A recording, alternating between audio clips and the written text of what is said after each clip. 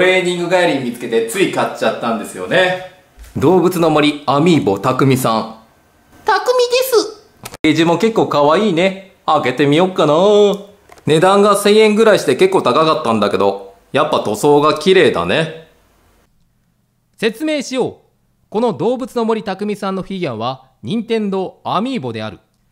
Wii U や任天堂 3DS にこのアミーボを読ませることで、キャラがプレイヤーとして登場したり、アイテムがもらえたり、一つのアミーボがいろいろなゲームの中で様々な体験、様々な遊びへとつながっていくのだ。つまり、この匠さんは特別な匠さんなのだ。匠さんのお尻。うーん。なんか、優しそうな人でよかったわ。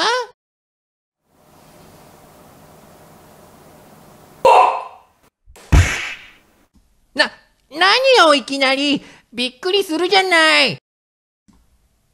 こ、この人、大丈夫かしら？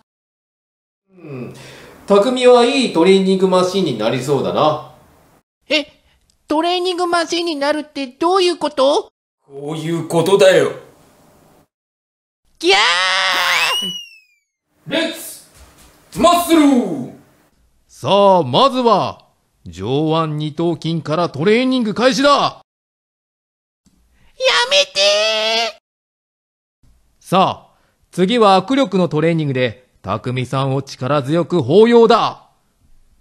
僕は関係ないだなもうさあ、マッスル三浦、次は一体何をやるつもりだ？おっと、肩を鳴らし始めたぞ。ま、まさかのここで投げるちだ、大丈夫ですか？だ、大丈夫です。あ、あなたは一体？よくぞ聞いてくださいました。